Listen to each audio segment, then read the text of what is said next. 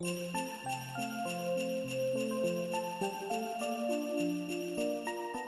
everyone, welcome back to Plum Mashable. So I'm going to be sharing with you today my mum's Christmas present. This was the planner I bought her in the 30% off haul I did uh, back at the start of December. I have waited until after Christmas to show you guys this for my last Festive Fridays for two reasons. Number one, it was very highly requested. Um, and number two, because I didn't want to put it up before Christmas and spoil it for her. So I'm just going to show you how I've set this baby up. So you take it out of its box. I still am having lust issues with this plan. It's gorgeous. Um, so just in the box, I've got the two um, glitter tapes that came with this and then the excess paper, which I'm giving to my mum to use if she wants to. She doesn't have to. And then we've got the planner. So you can see from this, the front here that I have um, the ornament that I bought in that haul as well. I'm using that as my page marker or divider or whatever. I've just tied it off with some twine and I've put it upways so that it actually sits out the top so I think it looks really nice hanging out. So then you open this up. You can see there you've got the page marker just there. I'll show you a bit better when we get there. So on the left hand side I've put some of the A Note For You gold paper that Kikki.k have um, in the, the letter range just because I thought it looked nicer with the gold and the black than just the regular little notepad that they give you. Um, I then cut the front of that out, stuck that down just for a bit of extra decoration. Um, and these are just some little page flags from Officeworks. And I'm pretty sure I gave her the others, I think they're in here.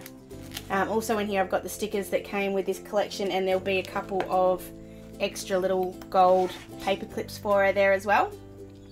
And then I haven't done a dashboard for her, but as you can see I have done something a bit different with her dividers. So what I've done is I've made them up just out of the dividers that came with them. I've just printed out pictures about the same size, stuck them down, cut them out, and then laminated them.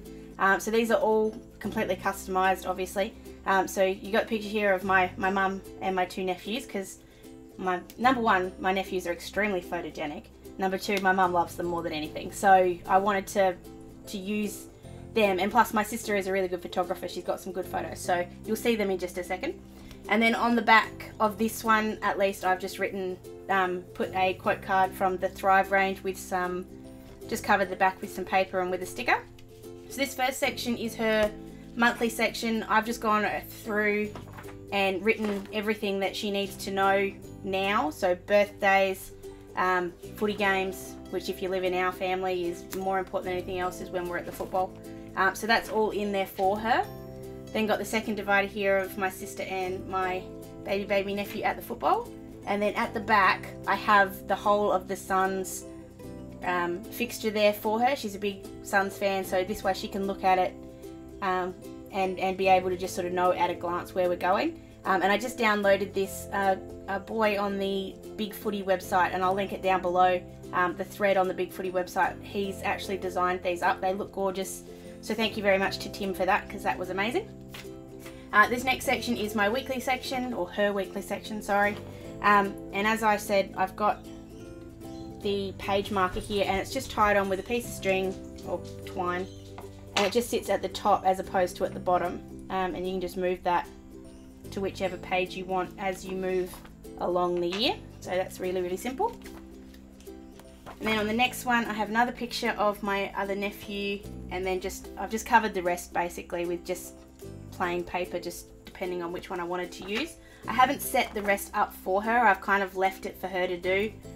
You do need, you don't have to have them personalize their own, but when you're giving a planner I don't like to sort of set it all out perfectly for them. I like to kind of leave it so they can personalise it a little bit more.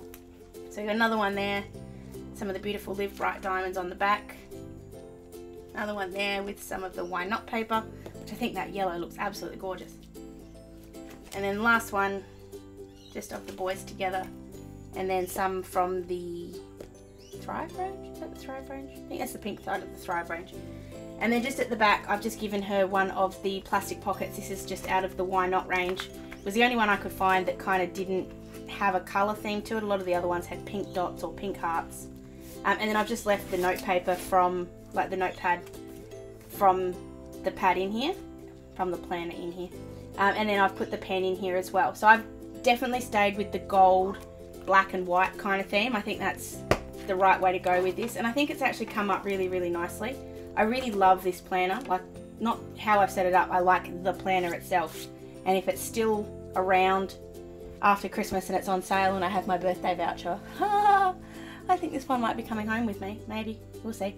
So that is it for this video guys. I hope you liked it. I hope she, more to the point I hope my mum likes it. I really hope she likes this planner. I'll let you know what she says um, when she says it. I'll leave a comment down below and let you know what she what she thought of it.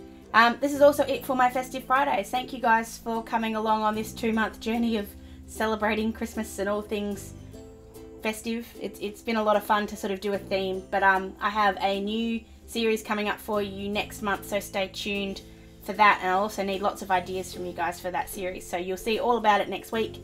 Hope you have a really great New Year's, guys, and I will see you on Monday. See you later. Bye.